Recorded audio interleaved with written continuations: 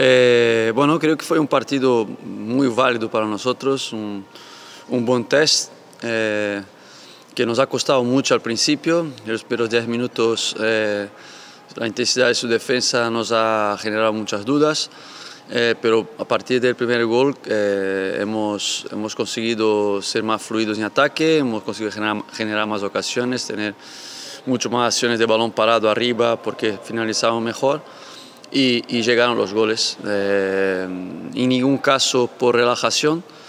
Eh, hemos encajado el, el, gol al final de la primera parte.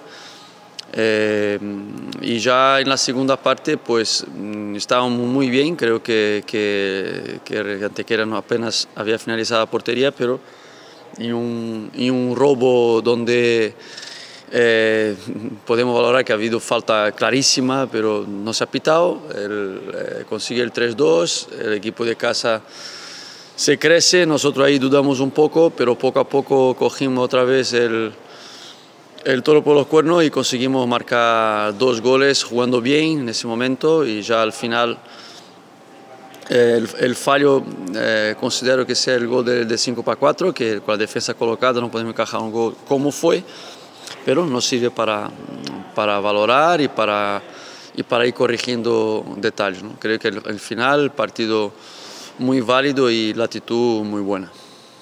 Bueno, sobre el calendario eh, siempre es, es, todo siempre muy relativo, ¿no? porque el calendario hace bueno los resultados que vaya haciendo. Siempre hay manera de ver eh, ver el vaso medio lleno siempre si quieres eh, con relación a los partidos de ida y de vuelta, si primero más difícil, primero más fácil, todo es relativo, y, pero bueno, lo positivo para el club eh, es que los partidos mm, más grandes de, con relación a, gente, a público, a taquilla, son la segunda vuelta o al final de la primera, algo que interesa de cara al tema del COVID y eso es la la valoración principal.